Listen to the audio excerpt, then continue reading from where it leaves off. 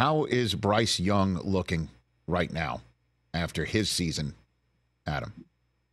It's been an awesome offseason. Um, and not only him, just a lot of the young guys, a lot of the staff.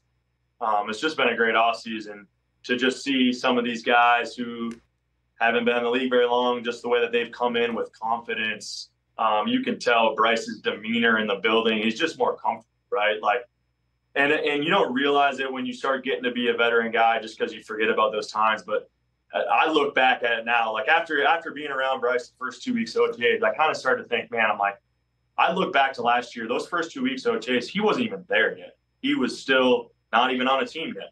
He was was not the draft hasn't gone on yet. So I'm thinking back to that, like now he's there. Now we're getting routes on air. We're we're around each other. We're in the locker room together. We're we're BSing, and talking about how great the Timberwolves are because I'm a Timberwolves fan. Uh, so mm-hmm. you know you have that time together that we didn't have last year, and so you kind of start thinking, be like, man, like that's that's tough as a rookie quarterback. Come in, you're already behind the eight ball, learning the playbook, learning your players. And then it's like, again, like take that month off, you get away from each other. Maybe we get together quickly for a day or two. And then it's like the ground's running, boom, like training camp, like we got to figure out who the starter is. Like, okay, now he's the starter.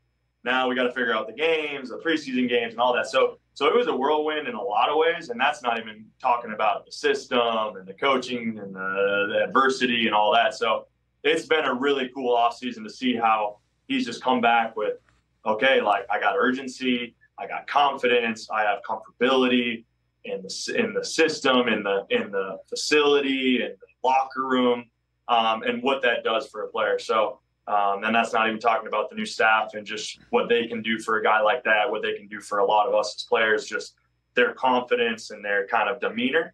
Uh, so I'm excited about you know what that looks like going into training camp again, like I said last year, and I'll never not talk about this. Uh, things are always great this time of year, right? Like there's no wins, no losses.